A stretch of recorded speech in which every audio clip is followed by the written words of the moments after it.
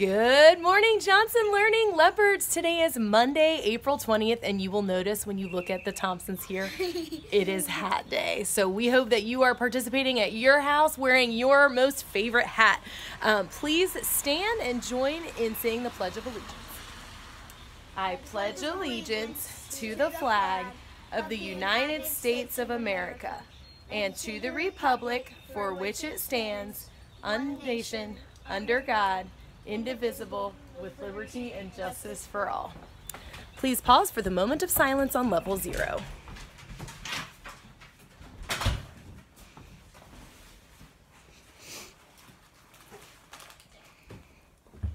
All right, welcome back, everybody. Oops, I just got a little twisted up here on my computer.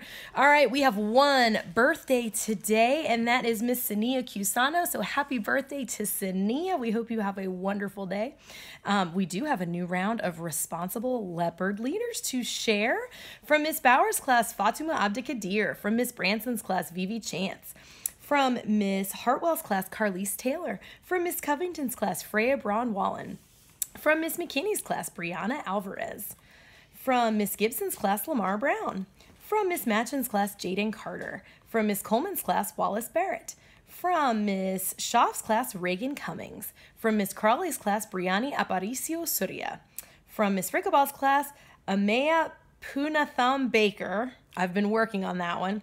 And from Miss Whalen's class, Sierra Carter. So, congratulations to all of those leopard leaders who have shown their responsibility.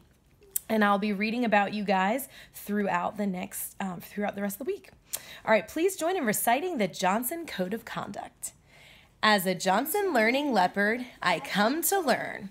I promise to roar by being respectful, open minded, actively engaged, and responsible. I will always try my best.